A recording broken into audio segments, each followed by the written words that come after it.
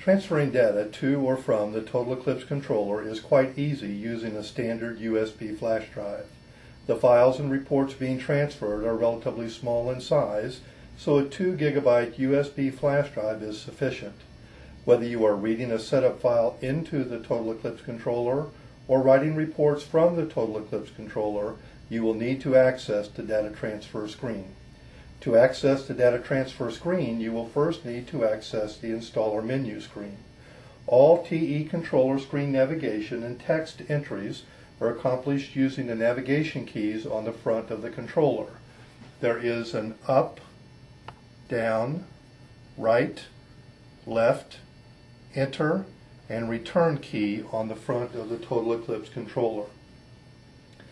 Again, in order to enter the data transfer screen, we first have to enter the installer menu. To do this, we'll press the down arrow key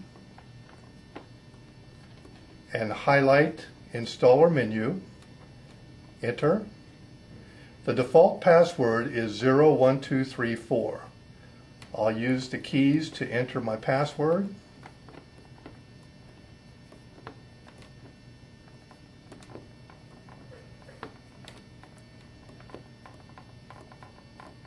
And then press enter.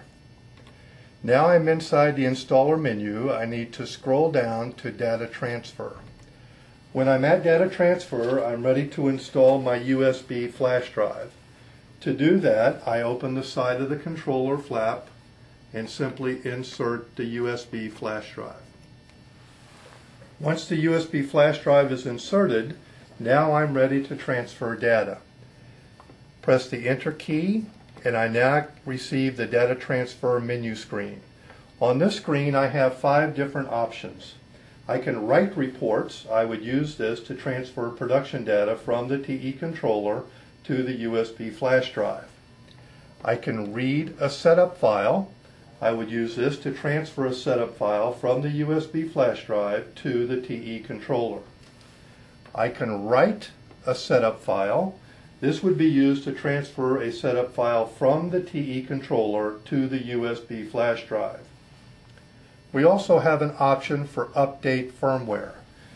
This may be used as a way of updating the firmware on the Total Eclipse controller. However, currently it has no field function. Our final option is write activity log. We would use this to transfer the most recent input and output commands received by the Total Eclipse controller to the USB flash drive for diagnostic purposes.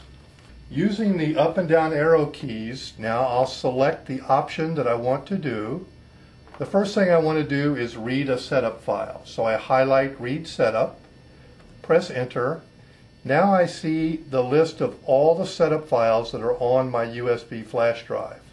I simply scroll up and down using the up and down keys until I've identified the setup file that I want to load. When I have that highlighted, I press enter. I receive a warning notice to let me know that I'm about to overwrite the current settings. That's fine. I'll press enter again. That quickly we've uploaded the file, the setup file, from the flash drive to the Total Eclipse controller. In order to write reports from the controller to the flash drive, I would scroll up to the Write Reports menu, press enter, it's going to prompt me for a date range that I want my report data from. In this particular instance, we'll use December 1st of last year, 2010, to today, which is March the 7th, 2011. It's going to prompt me for a name for the report. I like to keep my report names very simple. So in this particular instance, I will simply use the example of washer 2 and then I will use today's date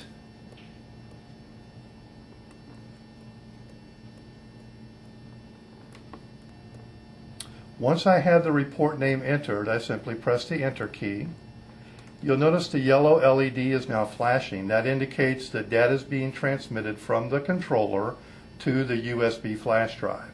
When all of the data transfer is complete, we will come back to the data transfer screen as you can see here.